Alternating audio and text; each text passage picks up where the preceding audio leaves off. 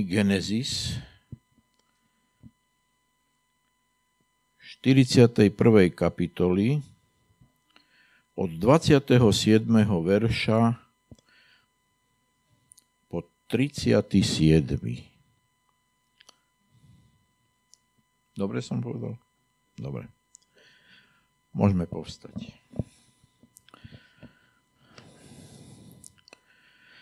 Sedem vychudnutých a škaredých kráv, ktoré vystúpili potom, je sedem rokov práve tak, ako sedem prázdnych a východným vetrom zahorených klasov. To bude sedem rokov hladu. To je to, čo som povedal faraónovi. Boh ukázal, čo urobí prichádza 7 rokov veľkej hojnosti v celom Egypte.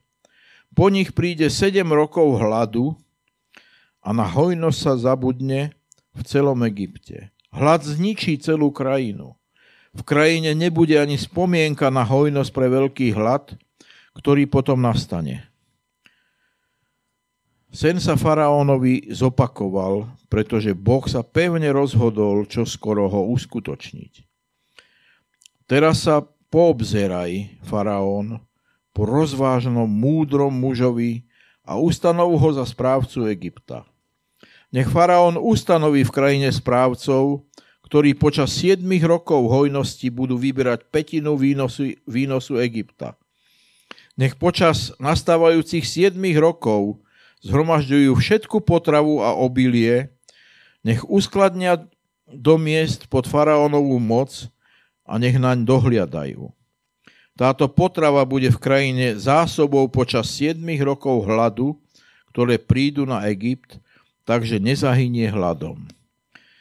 Táto reč sa zapáčila faraónovi a všetkým jeho služobníkom. Toľko slov z čítania písma.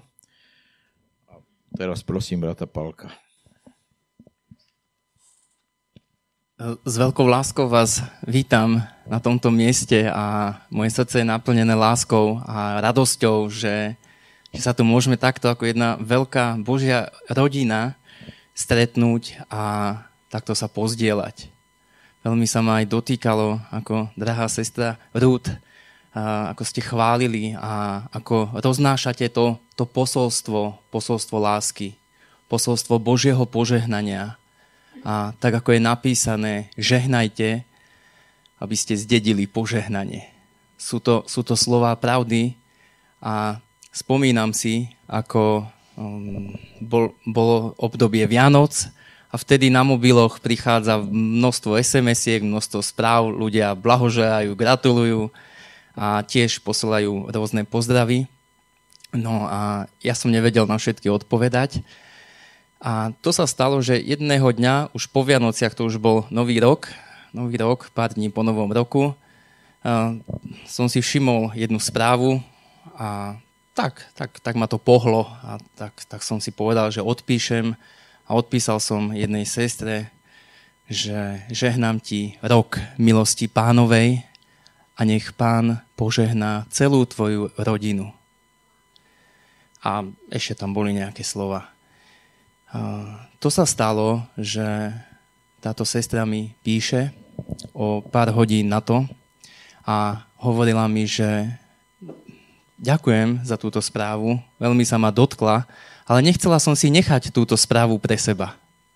A ako som sa modlila, tak mi na, na mysel prišla jedna moja známa a tak som jej preposlala túto správu. A došla mi od tej známej spätná sms -ka. A tam bolo napísané, veľmi pekne ti ďakujem, že som mohla dostať túto správu. Lebo to sa stalo, že ja som svoju cerku zavrela doma a išla som do lesa si vziať život. Nikto mi nenapísal žiadnu sms do nového roka, ale teraz jej zapípal mobil. A keď si to prečítala, tak ona povedala, že nestojí mi to za to a vrátila sa späť k svojej cerke. A toto je to, čo máme robiť, verím tomu. Toto je to, že rozsievame tie dobré veci a ja verím, že svojím časom budeme aj žať. Božie slovo hovorí, že to slovo sa nenávráti späť prázdne, ale vykoná to, na čo bolo poslané. A verím, že teraz vykonalo. Ale mnohokrát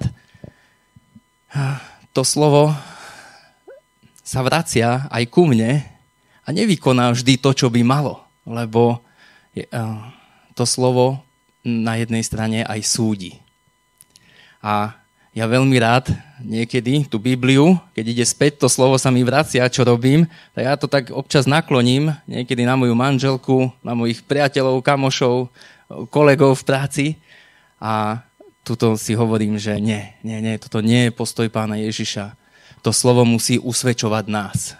Nie odsudzovať, ale nás usvedčovať z toho, či konáme dobré veci, alebo konáme nedobré veci. A tak sa aj učím, keď idem z práce domov, vždy si zrekapitulovať ten deň. Lebo vždy sú nejaké zádrhely tam, kde sa nachádzam a, a komunikujem. A tak sa pýtam, pane, túto som zase zlyhal a zase som zlyhal. A tak sa snažím odozdávať tieto veci. Odozdávať, lebo vtedy to slovo má moc vykonať to, na čo bolo poslané. A ja nechcem, aby to slovo ma súdilo až niekedy v budúcnosti keď budem stať niekde pred pánom. Takže nech to slovo vykonáva v tých našich životoch to, čo má vykonať. Nech, nech to slovo vykoná teraz tu, aby sme mohli takto činiť pokáne, mať tú premenu mysle a obnovovať sa a hľadať tú pánovú vôľu. Tento text je veľmi, tak, tak mi prišiel na srdce, keď brat Joško povedal, že Pali, že vyprosiť nejaké slovo od pána. A toto mi tak pán Ježiš kladol na srdce. Poznáte ten príbeh Jozefa, poznáte, kde sa nachádzal a je tu veľmi zaujímavé, že Jozef, Jozefa vyťahol, vyťahol ten faraón v podstate z toho väzenia, kde bol a, a pýtal si radu. Pýtal si radu. Ale keď, keď si čítame ešte predtým, že kde sa to celé udialo, tak tam je to ochotné srdce Jozefove. To, že Jozef, nakoľko mal rôzne problémy, eh, mal ťažkosti, bol, bol odvrhnutý od svojich vlastných bratov a tí ho nenávideli, poslali ho do vyhnanstva, urobili krásny plán vraždy a Jozef išiel. Jozef išiel a bol to jeden hrdina v mojich očiach, verím, že aj v iných očiach, e, v tom význame, že nezaprel svoju vieru. Nikde nenájdeme, že by sa Jozef modlil. Nikde môžeme čítať to, tie, tieto slova, ten príbeh Jozefov. Nenájdeme, že by mal nejakú komórku, osobné stíšenie. Nenájdeme to. Ale Božie slovo nám vydáva to zrkadlo toho, že hospodín bol s ním. A tam, kde bol Jozef, tam bol požehnaný aj ten statok Potifára a, a to požehnanie išlo s Jozefom. Ale doprevádzalo ho každej tej časti jeho života nejaké to utrpenie. Niekde nejaká zrada, niekde nejaký ten pád. Jozef utekal pred hriechom, keď, keď ho chcela tá Potifarová manželka zviesť a, a padol, padol, padol do toho väzenia, padol ešte hlbšie a, a tam urobil jednu krásnu vec. Tam o, sa tam tým svojim správaním, tým svojim svedectvom toho života, tam sa začali diať veci. Tam bol povýšený v tom väzení. On bol povýšený a, a stal sa správcom toho väzenia. Na nejaký spôsob tí ľudia mu začali dôverovať. A tam, tam je aj tak napísané, že prišli tam, prišiel tam ten pohárnik, prišiel tam uh, pekár, prišli tam tí dvaja, dvaja väzni z kráľovského dvora a oni tam boli a po nejakom čase sa ich Jozef spýtal, prečo sú zarmútené vaše tváre? Presne to isté, ako sa pán Ježiš spýtal tých emauských učeníkov. Prečo sú zarmútené? Prečo sú smutné vaše tváre? A Jozef Jozef prejavil záujem. Jozef prejavil záujem o, o druhých. A to je, to, to, je to, to je ten charakter pána Ježiša Krista. Ten záujem. To, že my, ne, my Jozef nemusel, Jozef nemusel, on si mohol robiť svoju prácu, ale urobil niečo navyše. On, on kládol ten, ten, ten záujem o druhých. A ako sa tak predieral týmito, týmito úskaliami života, tak pri, uh, potom, potom tak prosil o, o takú pomoc, lebo tam zase vyložil tie sny a Jozef šafáril s tým, čo máme, s tým, čo mal. A potom vyložil ďalší ten sen aj tomu faraónovi. Faraón si ho povolal a tam je veľmi zaujímavé, je to v tom, že my, ak my budeme šafáriť s tým, čo máme, ak sa nebudeme točiť len okolo seba, ale ak odvrátime sa od seba, budeme hľadať tých, tých našich stratených bratov, ako aj Jozef vyšiel a hľadal stratených bratov, tak ich budeme nachádzať. A pán bude žehnať.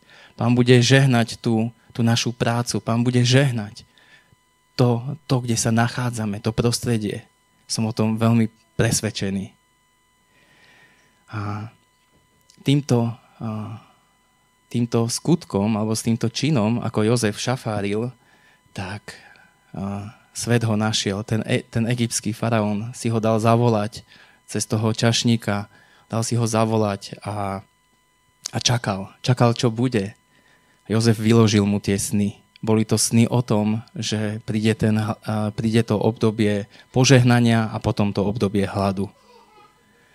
A toto tak vnímam, že, že je veľmi, veľmi dôležitý odkaz. My, my si musíme uvedomiť ako, ako církev, ako učeníci pána Ježiša, že kde sa nachádzame, kde teraz stojíme a v akom čase sme. A ja viem, že sme ešte v tom čase milosti. Viem, že sme, sme, sme v tom čase, kedy ešte je nám dobre, kedy nemáme nejakú tú, až takú nejakú núdzu aj o tie materiálne veci, a vieme sa celkom komfortne hýbať, premiesňovať sa. A, a tu je ďalej napísané, že Jozef hovorí, že, nás romaž, že aby, aby, sme si, aby ste si nás romaždili, aby ste si zhromaždili tú potravu počas tých 7 rokov, počas, toho, počas tej hojnosti. To je múdry človek, ktorý si bude zhromažďovať. To je múdry človek, ktorý, ktorý sa odkloní od seba, a tá potrava, Pán Ježiš hovorí, ja som chlieb života. My potrebujeme mať zážitok s Bohom. My potrebujeme mať tak osobné spoločenstvo, tak skryté a tak intimné, že keby nastali aj hociaký čas hladu, tak my musíme obstať. A preto vás chcem pozbudiť, že teraz sa nachádzame v tom čase, v tej čase milosti, v tej, tom čase hojnosti ale má to jednu cenu, aby sme obstáli. Ak prídu, ak príde ten čas, čas ten, ten ťažší čas, čas hladu, potrebujeme ísť proti sebe. Pán Ježiš hovorí, ten ma následuje, kto na každý deň zobere ten svoj kríž a zapre seba samého. Bez tohto to nejde. Človek, ktorý nejde sám proti sebe, tak tam tam, tam nenastane to, to prepálenie. Tam to, to, zlato, to zlato nie je prepálené a nemá, nie je to kryté. Nie je to kryté, nemá tú hodnotu, akú to má mať. A preto je dôležité, aby, aby, sme, aby sme išli dopredu. Aby sme hľadali tú Božiu vôľu. Ja toto prežívam dosť často na pracovisku. Robím v podunajských biskupiciach na oddelení dlhodobo chorých. Tam som ako, ako zdravotnícky asistent, ošetrovateľ a tam sa pohybujem medzi tými pacientami, nám sa tam striedajú každých 21 dní, takže je to krásne neoraté pole a, a ja som si zamiloval tých pacientov. Sú to babičky, sú to deduškovia, ale poviem vám úprimne, veľakrát si musím zakusnúť do jazyka. Keď ráno idem a viem, že máme hnačkové oddelenie a ja, že oh, ide sa prebalovať, a tak, tak sa mi zdvíha niekedy žalúdok, ale ale pán je dobrý. A pamätám si, že keď som, keď som nastúpil do tejto práce, tak eh, vnímal som, vnímal som, že to je od pána cesta, ale ja som robil na chirurgickom oddelení a potom som vnímal, že ma pán povoláva ďalej. No a keď som nastúpil na toto ODH, tak mi to ukázali, tie prebalovačky, krmenie a vtedy som, eh, vtedy ešte Sebastian bol v brúšku mamininom a ja si hovorím, však ja ešte, ja vlastné dieťa by som nevedel nakrmiť lyžicou a čo ešte nejakých starkých. A ja si hovorím, že no ja som sa pomýlil. To, toto bola chyba. Ja, ja, ja asi zdúcham, idem preč, však prvý deň zbalím sa a idem. Tak som si, tak, tak som si povedal, ja, že pane, ak mi nedáš nejaký, nejaké, nejaké znamenie, tak jednoducho asi som sa pomýlil. Bol som o tom presvedčený do desiatich minút. Keď som sa pozrel takto e, z jedného obloku, tak som tam videl takú silnú dúhu, ako som nikdy v živote nevidel. Taká silná dúha. Ja, že dobre, pane, tak asi ma tu chceš ma- mať. A úprimne vám poviem, išlo to cez veľa, veľa, veľa seba zapretia, veľa bolesti, čo som vnútorne prežíval, s ktorými vecami som sa nevedel stotožniť, ale tu som zistil, že pán si brúsi. Pán, pán si ma brúsi, povoláva si ma a to slovo som vtedy prijal, že, že mám sa skloniť. Že však ja som umýval učeníkom nohy. Ja som im umýval. A mne nesmrdeli tie nohy. A ja, že dobre, pane, tak to nejako skúsim. Tak som si dal 20 rúšiek na seba a, a poviem vám, už som tam 5 rokov v tej práci, ale už, už je to preč. Prišli pochybnosti samozrejme, ten, ten zlý chce oklamať, okradnúť a, a snaží sa stiahnuť ma odtiaľ.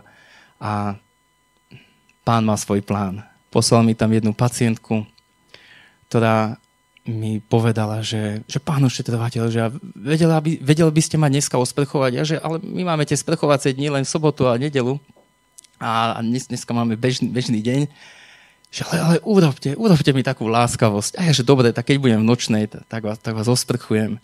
A tak som, tak som mu osprchoval, a dal som ju na postel, som ju posadil a, a ona mi hovorí, že prosím vás, a, ešte mi umýte nohy. No ja, že no dobre. A, ale umýte mi ich tak, ako pán Ježiš umýval svojim učeníkom. A ja, ja, ja, mňa sa to veľmi dotklo. Mňa sa to tak dotklo, že, že, že pán Ježiš dáva tú pečať. Dáva tú pečať, že, že, že tam, kde som, že tam mám byť, mám, mám slúžiť. A ne, neobzerať sa doprava, doľava, ale hľadať tú jeho vôľu, čo je jeho vôľa. A Spomínam si ešte, ešte ďalej. E, mnohí viete, z čoho som vyšiel. Bol som drogovo závislý, bol som na, na pervitíne, nemal som rád starých ľudí, hej, lebo, lebo mi spomalovali môj životný štýl, keď som mal rýchle auto, veľa peňazí, užíval som si. A tento môj Titanic, ten sa potopil. Ten sa úplne potopil, ale nastal, nastal jeden čas aj v tom mojom období, kedy som bol úplne, úplne na dno, kedy som sa takmer úplne zosypal a ja som začal volať na pána. A ja, že páne Ježišu, ak existuješ, páne Bože, tej som ešte tak hovoril, ak existuješ, pomôž mi, pomôž, lebo ja sa z tohto dostať neviem. A on zasiahol do môjho života. On presvietil môj život a, a ja som zistil, že, že on je živý. Ale predtým sa stala jedna zaujímavá udalosť, že prišiel jeden kamarát ku mne a začal mi svedčiť o Bohu. Začal mi hovoriť. A mňa to nahnevalo, že však ja chodím občas do kostola, čo ma on poučuje? Vyhodil som ho z bytu. Úplne som ho vyhodil a nechcel som ho ani počuť. A predstavte si, že tento človek bol použitý na to, že keď prišiel ten hlad, ja som sa už potom obrátil. Ja, ja som sa už potom obrátil zo všetkých tých vecí, ale nastalo jedno obdobie v mojom živote, toto začiatočné, kedy tam ešte bola tá, tá zo sveta, ten, taký, taký ten prelis alebo presun aj toho myslenia. A ja som vtedy zostal úplne bez koruny. Ja som, ja som nemal ani, ani na ja som, ja som fa, fakt som nemal nič. A ja som sa potom, potom som povedal, že čo sa stalo, v akých veciach som bol, lebo ma policajti chytili, tak všetko sa to prevalilo a ja som sa priznal tomu, tomu môjmu kamarátovi, ktorý mi svedčil o pánovi Ježišovi, ktorý mi hovoril o Bohu. Ja som, mne už zostal len ten, lebo už ani vodický som nemal a bol som úplne na dne a vtedy som si spomenul, vtedy som sa mu priznal s tými vecami A v podstate tento chlapec, už potom môj brat ma viedol. Bližšie a bližšie. My sme študovali to Božie slovo. A, a žijeme ho dodnes. Ale to som chcel povedať, že prišiel čas hladu do toho môjho života a tento čas hladu vypôsobil to, že ja som začal hľadať, ja som, ja som oslovil toho kamaráta, ktorému som povedal, že choď preč, nehovor mi také hlúposti. A preto je dobre, aby sme zasievali. Preto je dobré, aby, aby sme urobili niečo naviac, ako vieme. Lebo, lebo to prinesie to ovocie. V tomto texte, texte aj tu vidíte, že Jozef, Jozef tu urobí jednu zaujímavú vec, keď vykladá, e, keď vykladá ten sen, tak hovorí, že Nech, nech vyhľadá faraón rozumného a múdreho muža a nech ho ustanoví nad Egyptom. Toto už Jozef nemusel urobiť. On mohol vyložiť tie sny, povedať si, povedať výklad tých snov, ale Jozef ako človek, ako muž druhej míle, on robil niečo viacej. On robil viacej a toto sa zapáčilo tomu faraónovi. A ten faraón ho potom tak povýšil, že, mu, že si dal dole ten prsteň a povedal, že ty sa tu staneš tým, tým správcom. A ja verím že, a viem, že aj tu sedia Jozefovia. Aj tu sedia Jozefovia a chcem vás pozbudiť, že hľadajme tú vôľu, čo je jeho vôľa v našich životoch mnohokrát nachádzam tú vôľu eh, v tej práci. Dejú sa tam naozaj živé veci a ja, ja sa teším, že môžem byť na, na, na sklonkoch tých životov, tých ľudí a že si ma tam pán vie použiť. Ale takisto to je len jedna oblasť, to je, len, to je práca. Potom tu máme manželstvo, potom, potom hm, ešte sú ďalšie oblasti. A tu sa musíme budovať. Vidím na sebe veľa nedostatkov, aj, aj kde, kde zlyhávam, ale jedno rozhodne, rozhodnutie som urobil v srdci a to som slúbil pánovi, že, že, že nechcem byť tým, tou tvrdohlavou kozou. Jednoducho nie. Ak, ak, ak vnímam nejaké podnety, tak, tak, tak snažím sa s tým pracovať, snažím sa s tým nejakým spôsobom narábať a, a nie tak povedať, že, že koniec, stop, nie, nie, toto je môj názor a, a, a ty si hovor, čo chceš. Nie, nie, nie, ja som rezignoval. Rezignoval som a, a v tom vidím, že len tu sa môžu uvoľniť tie veci, ak my rezignujeme. Všimnite si ten príbeh e, tej, tej hriešnice, tej ženy, ktorá prišla k nohám pána Ježiša. A ona tam rozbila tú alabastrovú masť. Tam je krásny odkaz pre nás. Potrebujeme byť rozbití. Potrebujeme byť zlomení pre nášho Boha. Potrebujeme byť zlomení pre pána Ježiša Krista a, a to obnáša aj tie naše rodiny. To je všetko, je to v tom, v tom balíku. Lebo pán pokoreným dáva milosť, ale od pyšných sa odvracia. A ja, ja, vám, ja vám žehnám. Žehnám vám, aby, aby, ste, aby, aby sme si aj my dali do poriadku a, tie oblasti a tie sféry života, kde neprinášame ovocie ale máme tam ovocia a skutky tela. Lebo, lebo ak, ak nebudeme riešiť tieto veci, ak si povieme, že ja si dupnem, ja si vydupem to svoje, ono sa to dá. Ale čo to potom prinesie? Čo to prinesie v našich rodinách? Akým svetlom pôjdeme pre, pre naše deti? Toto je, toto je nádherné, toto obecenstvo, to, to Božie obecenstvo s, tými, s týmito maličkými deťmi. To je krása. To je krása, keď môžeme do, ni, do nich vštepovať tie dobré veci. Oni sú ako tá špongia, oni nasávajú. Mnohokrát si myslíme, že nepočujú, nevidia, ale oni vidia ešte lepšie, ako si myslíme. Aha. A prichádzajú tie roky. Prichádzajú, prichádza ten čas. A tento svet už zazvonil. Už bolo jedno zazvonenie. A bude prichádzať dlhšie zazvonenie. Bude ďalšie zazvonenie prichádzať. Múdry to človek, ktorý si teraz nazromaždí do tých sípok to obilie. To je múdry človek. A my sa môžeme z tohto poučiť. Keď sme takto v spoločenstve, keď, keď, ste, keď máte tie skupinky, zbierajte to obilie, ukladajte si ho, budete ho potrebovať. A veľmi mi Duch Svetý kládol toto na srdce. Aby ste boli rozumní. Aby ste v tomto čase odho- odhodili tie škriepky, tie hádky. Nemá to význam. Tak hovorí Pán Ježiš, poďte k mojim nohám. Poďte k mojim nohám, pokorte sa. A uvidíte, ja vás, ja vás povýšim. Prichádza ten čas. Prichádza čas.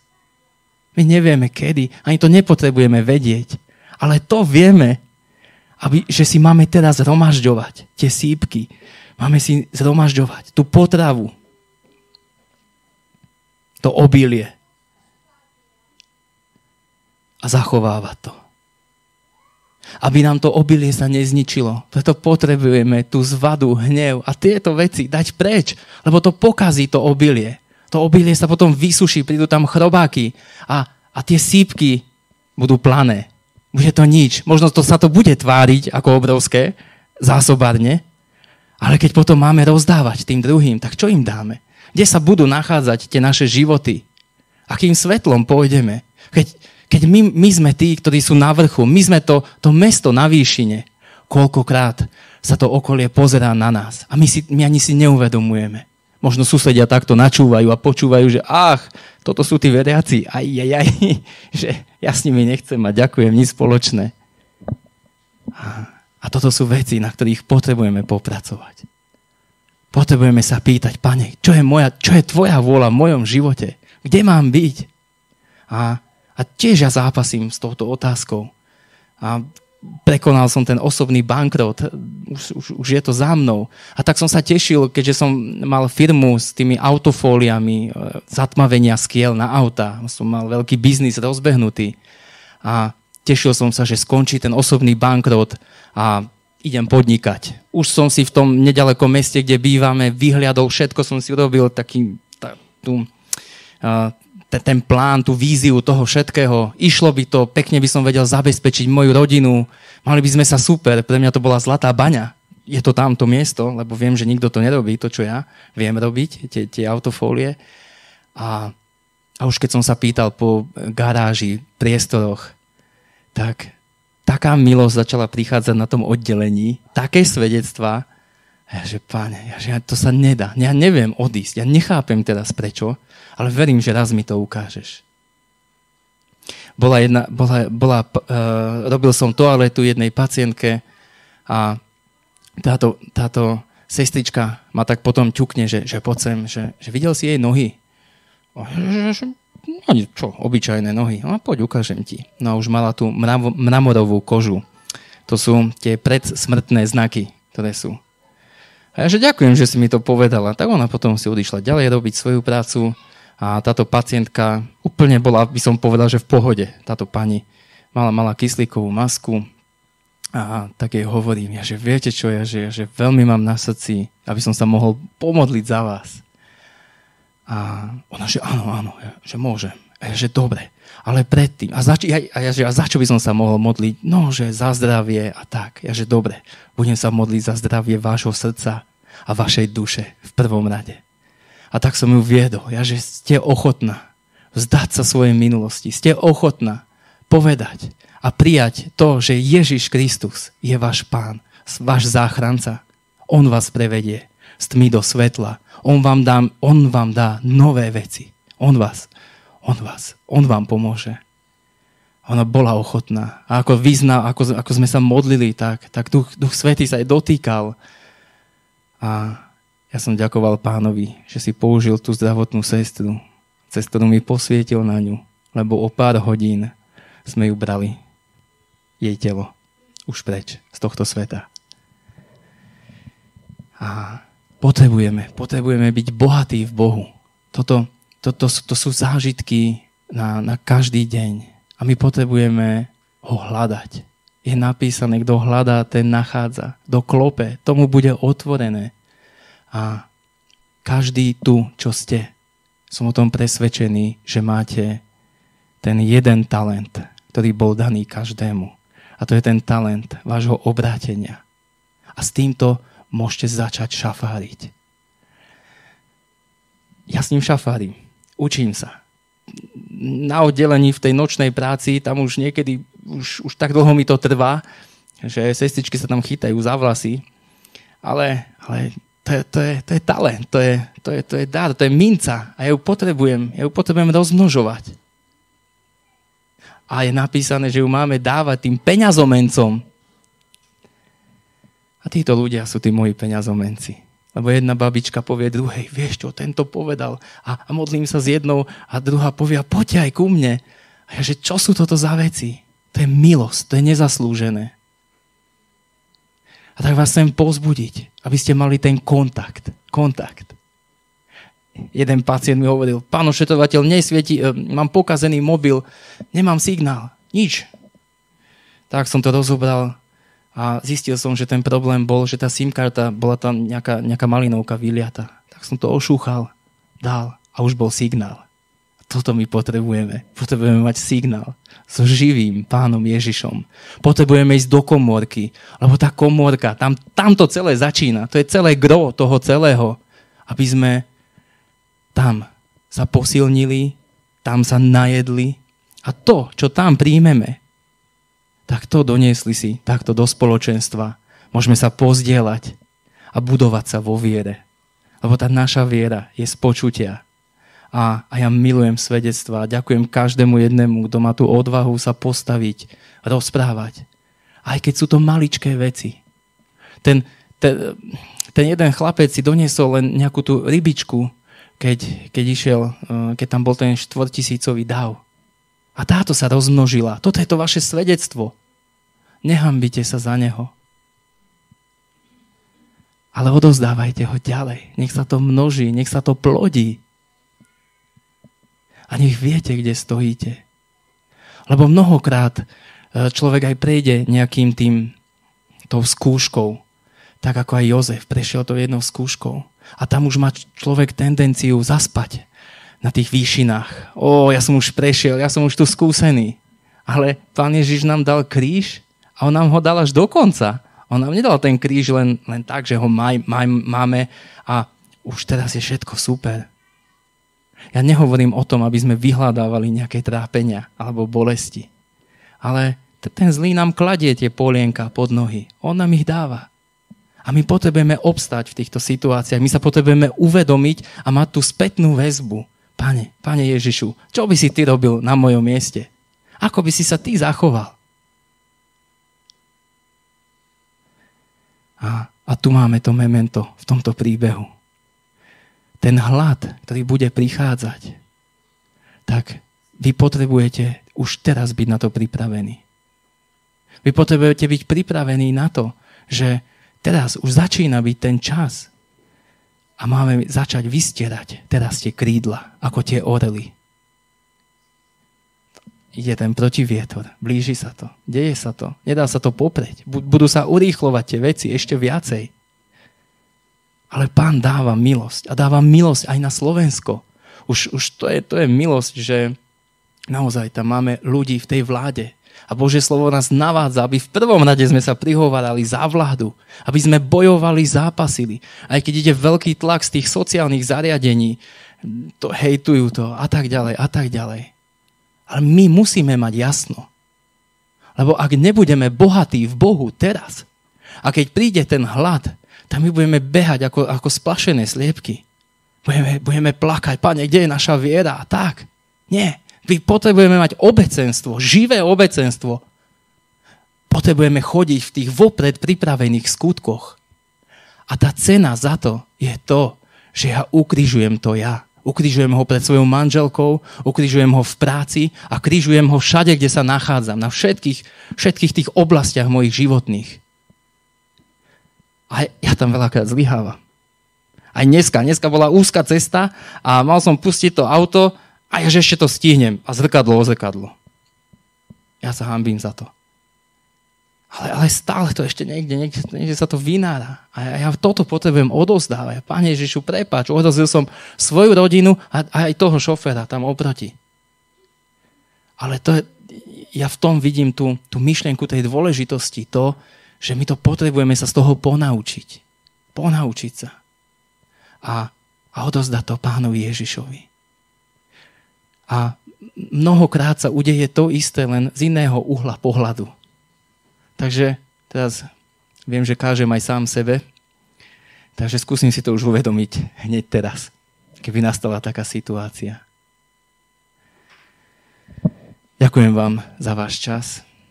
Ďakujem za toto spoločenstvo a naozaj verím, že, že pán má zámer.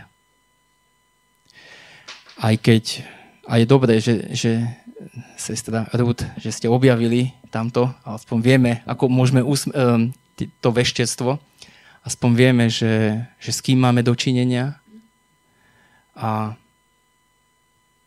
a my máme byť tou solou.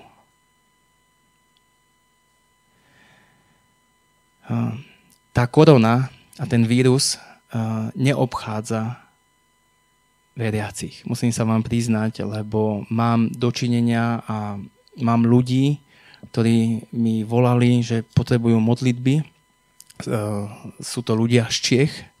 Sú to, je to veľmi silne veriaca rodina. A stala sa taká vec, že všetci boli infikovaní. Všetci do jedného, celá rodina.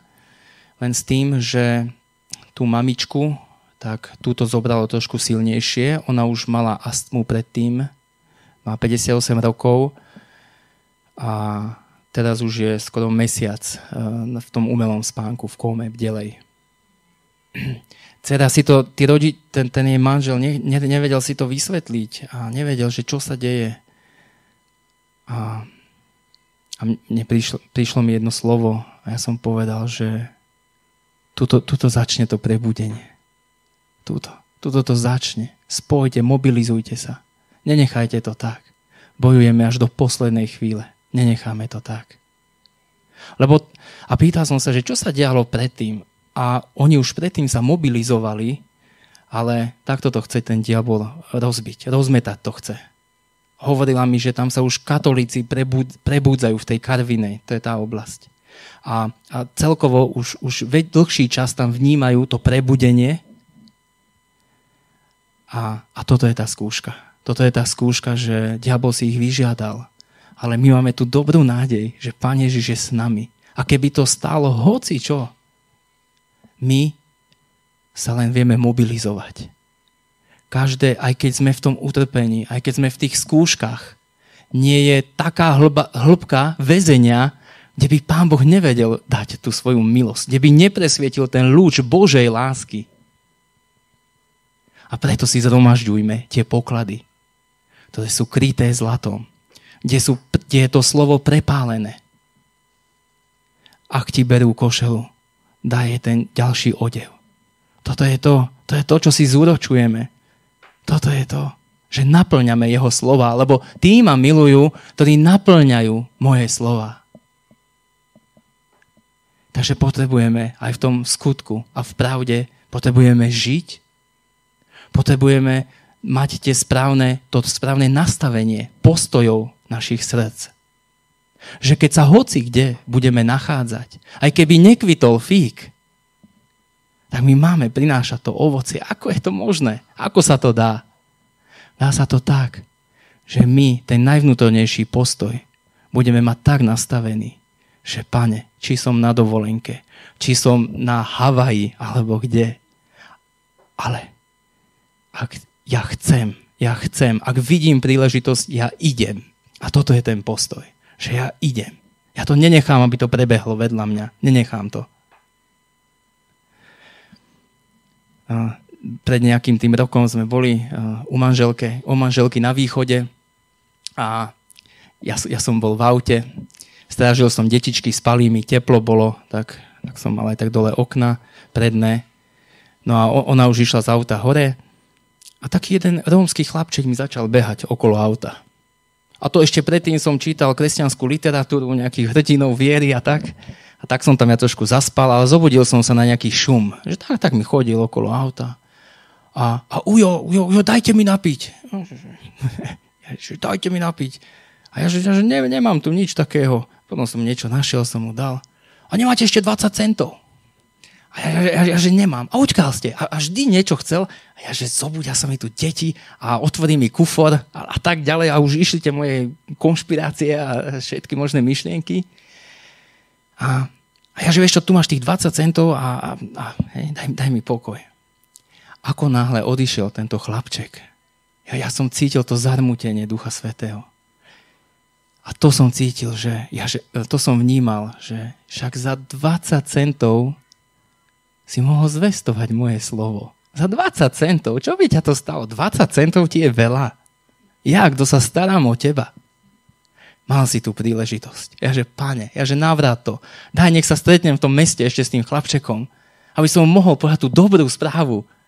A už som ho nestretol. A veľmi mi to bolo lúto. Do dnešného dňa mi to je lúto.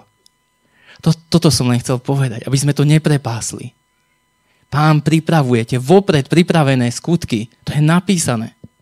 Máme ich pripravené. Ale my, my sme tí, od koho to závisí. My spolupracujeme s ním. My sme spolupracovníci Kristovi. A pýtajte si túto milosť. Bude vám daná. Lebo prichádza, po, pomaličky prichádza ten čas hladu. Ja vás nestraším. Prichádza, bude to stiažené, budeme možno trošku okliesnení. Ale potrebujeme byť na to pripravení. Potrebujeme byť plní Božieho slova. Potrebujeme mať ten, ten osobný zážitok. A keď sa budeme ním sítiť, keď budete prežívať a zažívať tieto veci, vás to bude tak motivovať, že, že obstojíte. Ale nie len vy obstojíte, obstoja vaše rodiny. Lebo keď prichádza hlad, ako aj na mňa došiel, ten hlad, tak ten hlad vypôsobí to, že tí ľudia sa začnú obracať, začnú, začnú sa vrácať k vám. To je ako bumerang. Vy teraz, čo zasievate, robte to naďalej. Žite to a uvidíte tým svojim časom. Bude veľa samovrážd v tom období. Bude, budú veľké tieto tlaky, ľudia si budú brať životy, budete to čítať v novinách, budete, to, budete s tým veľmi konfrontovaní. Lebo ten, ten svet už teraz sa bojí. A ten strach vypôsobí také napätie a vypetie v tých ľuďoch, že zase sa nám otvára tá možnosť a bude, a bude to prebudenie, o ktorom je písané. Tí ľudia budú tak, tak budú strnuli, že, že zároveň, ako bude veľká tma, tak zase začne prichádzať tá veľká milosť. A v tej veľkej tme stačí zapáliť len zápalku a je svetlo. Tak málo stačí. Tí ľudia budú hladní po Božom slove. A je napísané, že oni očakávajú na synov Božích, na zjavenie sa synov Božích a dcer Božích. Toto je pred nami. Toto mi kladol Pán Ježiš. Drahý nebeský oče, chcem ti poďakovať za tento čas. Ďakujem ti, že, že môžeme byť tvojimi predlženými rukami, tvojimi údmi. Ďakujem ti za túto milosť, a ja sa prihováram aj za toto mesto. Prihováram sa za toto okolie. Prihováram sa za Slovensko a za okolité štáty. Aby si vystrel tú svoju berlu milosti. Aby tá tvoja milosť, pane, navštívila každého jedného, kto je hoden toho. A my voláme, pane, hodenie baránok tvojej slávy. My vieme, že aký čas prichádza. My vieme, kde sa nachádzame. A my ti za to ďakujeme, že ty nám to zjavuješ. Ty nás nenecháš len tak samých. Nenecháš. A ani nás nikdy neopustíš. A tak chceme byť pri tých tvojich nohách. Ďakujeme ti, že tie tvoje sípky sú plné. A ty dávaš to obilie ľuďom zadarmo. Ďakujem ti, Pane Ježišu. Ďakujem ti, že nechceš, aby sme boli ustarostení, ale chceš, aby sme sa odvrátili sami od seba a mohli tak hľadať a činiť nie našu, ale tvoju vôľu. Tak nech sa deje tá tvoja Božia a dokonalá vôľa v našich životoch. A daruj nám tú milosť byť tou tvojou solou, aby tá slaň bola poriadne slaná aby sa zapálili srdcia ľudí. O toto ťa prosíme. Aby sme my mohli byť tí, ktorí hľadajú tých bratov. Lebo aj v tomto príbehu ten hlad doviedol tých Jozefových bratov a ten ich pokoril. A ja ti ďakujem, páne, že nám ukazuješ tento obraz. Obraz toho, čo prichádza. A my chceme byť pripravení. Daruj nám tú milosť, aby sme obstáli v čase hojnosti, ale aby sme obstáli aj v tom čase hladu. Tak ako aj Apoštol Pavol naučil sa žiť aj tak, aj tak. Priprav nás na to. Daj, Pane, aby sme neboli vedení svojimi, svojimi túžbami, svojim srdcom, ale aby sme vedeli byť vedení Tvojim slovom. A Tvoje slovo nech vykoná v nás to, na čo bolo poslané aj teraz v tento čas. Buď ti sláva, buď ti česť. Amen. Ďakujem za vašu pozornosť.